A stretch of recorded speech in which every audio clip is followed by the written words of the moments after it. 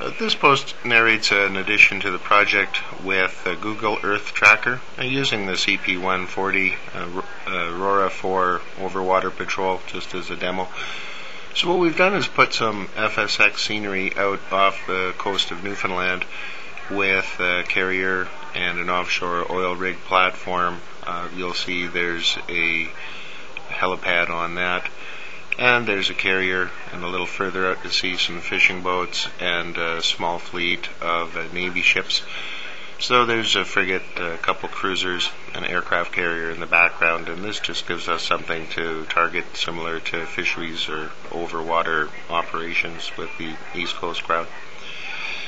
So what we've done is got uh, Google Earth off uh, Shareware site and link this up with the aircraft position through the SimConnect layer. And you can see the route already flown highlighted in the white track with the user's position.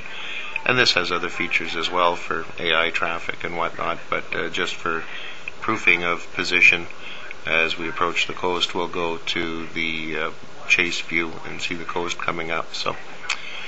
Also, uh, just to show a demo of the user interface with uh, Google Earth tracking and panning and zooming, all of the courses and aircraft labels and whatnot uh, move as well uh, to follow. And uh, ahead of the aircraft in yellow is a course prediction, which is selectable through the user interface as well. So.